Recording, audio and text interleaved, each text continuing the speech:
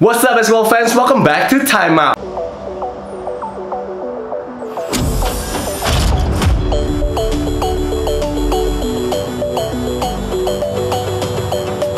Balik lagi dengan Gorky Padilla dan video hari ini kita membahas tentang NBA All-Star Voting. Jadi hari ini NBA memperlihatkan hasil pertama dari votingnya para fans untuk NBA All-Star dan di sini kita bisa lihat nih kira-kira siapa sih leading candidate untuk menjadi captain di Eastern Conference dan juga Western Conference. Untuk wilayah timur tampaknya wah Yanis Antetokounmpo udah hampir pastilah jadi captain lagi nih di Eastern Conference. Kita lihat dia menjadi peraih suara terbanyak di Eastern Conference dengan 1.073.358 suara. Di bawahnya ada Joel Embiid yang beda cukup jauh yaitu 606.534 suara. Jadi kayak Yanis uh, udah lumayan aman nih untuk jadi captain di Eastern Conference. Sedangkan dari Western Conference, wah ini menarik nih. Biasanya kita identik dengan King James atau LeBron James yang menjadi uh, tim captain. Tapi kali ini ada kejutan nih dari anak muda dari Slovenia yaitu Luka Doncic yang menurut gue adalah pemain mungkin paling populer saat ini di NBA dan juga digandrungi banyak sekali anak millennials.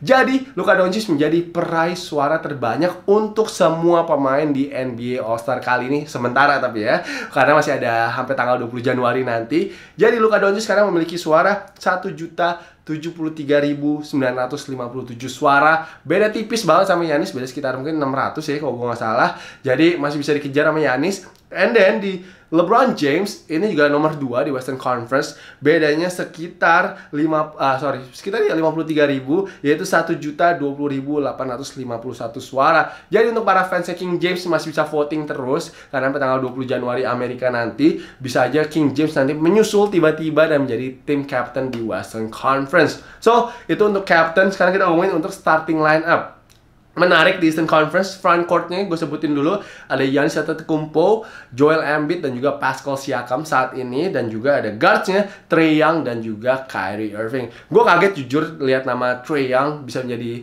uh, vote uh, peraih suara terbanyak untuk guard di Eastern Conference.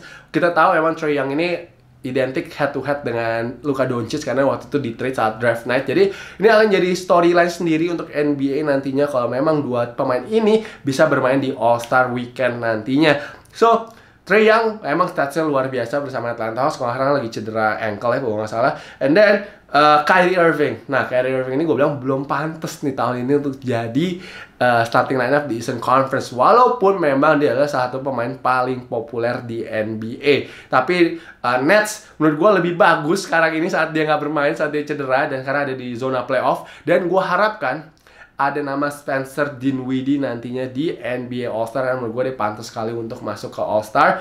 Uh, lalu kalau gue sendiri gue udah voting hari ini juga uh, untuk Eastern Conference cuma beda satu. Gue milihnya bukan Pascal Siakam, jadi gue pilihnya Giannis, Joel Embiid serta Jimmy Butler kan menurut gue Jimmy Butler perannya besar banget untuk membawa Miami kalau nggak salah uh, sekarang baru 9 kali kalah dong season ini dan memiliki rekor terbaik juga di home court. Jadi menurut gue pemain Miami Heat harus ada satu yang bisa jadi starting lineup di Eastern Conference. Lalu untuk guard, gue jujur setuju dengan Trey Young jadi starter. Tapi gue satu lagi adalah Kemba Walker karena menurut gue Kemba Walker uh, kontribusinya untuk Boston Celtics season ini luar biasa. Leadershipnya dia sih untuk uh, merangkul Jason Tatum dan juga Jalen Brown itu sangat penting banget.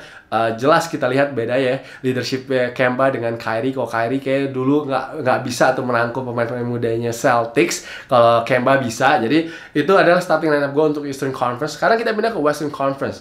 Front courtnya LeBron James, Anthony Davis, Kawhi Leonard. Guardsnya ada Luka Doncic dan juga James Harden.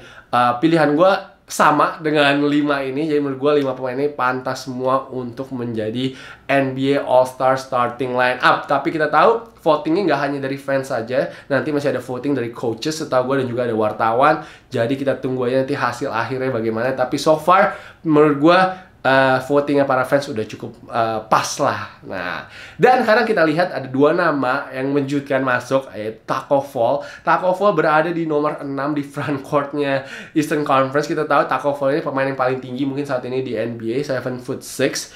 Um, baru main tiga kali bersama Celtics, dia bolak-balik antara Celtics dan juga G League. Jadi ini fansnya banyak banget kayaknya hingga votingnya lumayan loh. Dia mendapatkan 110.269 suara. Di atasnya Bam Adebayo, Gordon Hayward, Andre Drummond dan juga Domantas Sabonis. Lalu Karena kita pindah ke Western Conference, ini juga fansnya banyak banget yang sering melakukan slam dunk. Boleh dibilang uh, the GOAT juga, yaitu Alex Caruso. Nih, Alex Caruso di backcourt Western Conference itu mendapatkan 92.233 suara nomor 8 di atasnya Devin Booker dan juga Ja Morant. Jadi ini dua nama yang menarik. Gua nggak tahu kenapa bisa masuk ke list ini, tapi kayak akan susah untuk dua pemain ini untuk menembus All Star karena memang performanya bukan All Star level. But Uh, ada satu nama lagi mungkin yang gue harapkan bisa masuk ke NBA All Star yaitu dari Miami Heat. Kita tahu Miami Heat sekarang kalau halnya nomor 2 atau nomor 3 di Eastern Conference. Hari ini baru aja menang tadi lawan Toronto Raptors. Uh, Miami Heat gue harus ada dua pemain at least yaitu gue gua rasa mungkin satu lagi bisa-bisa Bam Adebayo masuk ke NBA All Star. Walaupun it's a long shot, tapi kalau memang Miami bisa stay di nomor 2 atau nomor 3 di Eastern Conference, kayaknya patut at least dapat dua pemain seperti Denver Nuggets di Western Conference. Nuggets pun diam-diam menurut gue mereka under the radar banget nggak ada yang ngomongin hari ini MPJ juga jago banget.